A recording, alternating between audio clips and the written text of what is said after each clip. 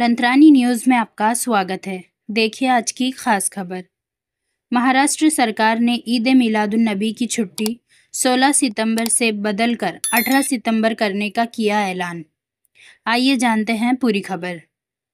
महाराष्ट्र सरकार ने ईद मिलादुलनबी की छुट्टी को 16 सितंबर से शिफ्ट करके 18 सितंबर को कर दिया है।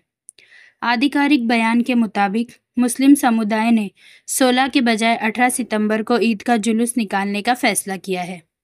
17 सितंबर को अनंत चतुर्दशी भी है। ये गणेश पूजा का आखिरी दिन है।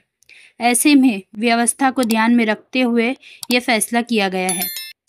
अधिकारियों का कहना है कि स्थानीय कलेक्टर अलग अलग ज़िलों में ईद की छुट्टी, वहाँ की स्थिति के अनुसार रीशेड्यूल कर सकते हैं। रविवार को महाराष्ट्र कांग्रेस के नेता नसीम खान ने मुख्यमंत्री एकनाथ शिंदे से कहा था कि 16 सितंबर के बजाय 18 सितंबर को ईद मिलादुलनबी की छुट्टी कर दी जाए। उन्होंने कहा था, अनंत चतुर्दशी 17 सितंबर को है। ऐसे में मुस्लिम समुदाय के लोगों ने फैसला किया है कि वे ईद मिलादुलनबी का जुलूस 18 सितंबर को निकालेंगे।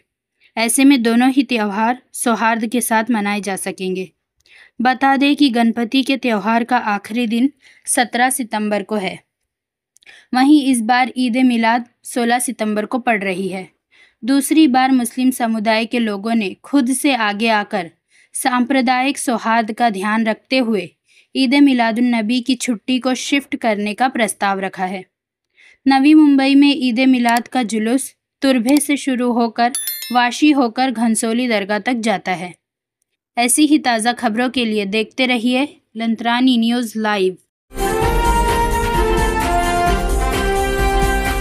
लाइक कीजिए, सब्सक्राइब कीजिए और शेयर कीजिए। बेल आइकॉन का बटन दबाना ना भूलिए और देखते रहिए लंतरानी न्यूज़ लाइव।